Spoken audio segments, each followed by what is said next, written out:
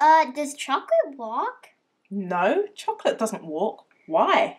Well, in that case, I think I just ate a cockroach. Ooh! I have a great way for the rest of you to make sure that you have chocolate and not a cockroach in your cookies. Chocolates melt and cockroaches don't. And since we're spending a lot of time in the kitchen cooking treats, let's head to the kitchen and melt some chocolate. Get our thinking caps and aprons on. Oh, yeah, we already have them. Here's what you will need Three different types of spoons.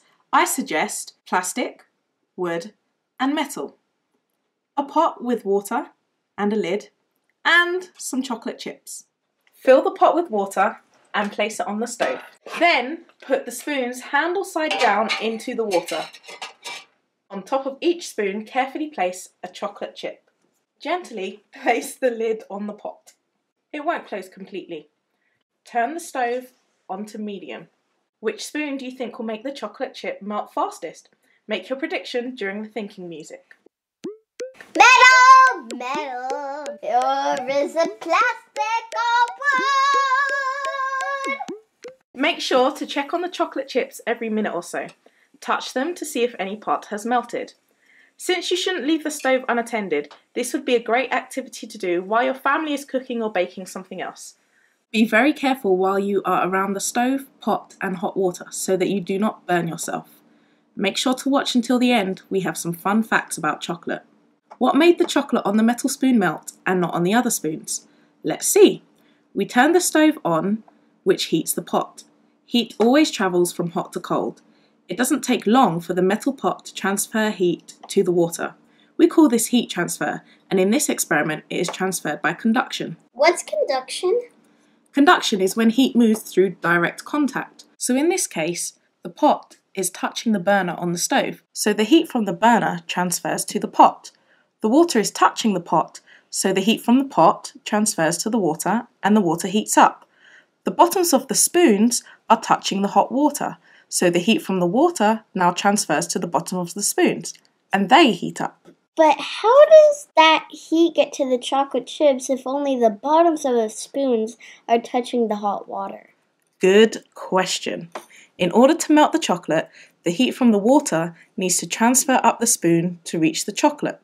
With our spoons, we have three different materials plastic, wood, and metal. The heat transfers through different materials at different rates. Between plastic, wood, and metal, metal transfers heat the most quickly, so the chocolate melts the most quickly on the metal spoon. Metal is a good conductor of heat.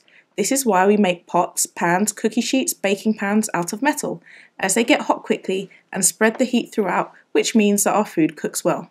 Wood and plastic are not good conductors of heat, so even though the spoons are in the same hot water, the heat doesn't transfer very much through the plastic and wood spoons. So the tops of the spoons don't heat up almost any, and the chocolate doesn't melt. It all has to do with conduction. Here's our Explore More challenge for you. What happens if? What happens if you place something different on the spoons, like pats of butter or slices of cheese? Will it make a difference in the melting? If you place your spoon in ice water and then place the melted chocolate on top of them, will one spoon make the chocolate harden faster? Try one of these challenges or another and let us know what you find out. You can post your answer in the comment section below or email us at Exploremosmas at gmail.com. It's time for a fun chocolate fact. In England, we love chocolate as much as Americans do, but chocolate didn't come from England. Which continent do you think chocolate originally comes from? A. Asia, B. The Americas, C. Africa. The answer is B. The Americas. And the Native Americans, like the Aztecs and Mayans, usually drank it and they didn't add sugar. They drank it bitter and added chili, vanilla, or other spices. Then, when the Europeans came to the Americas, they tried the chocolate, fell in love with it, just like we love it, and took it back to Europe and the rest of the world. So if you want to feel like a world traveler, even without a plane ticket, Sprinkle on some chili powder and close your eyes as you eat it. Be the chocolate as it travels around the world, making people happy. to make sure you don't miss any Explore More videos, click on the subscribe link here.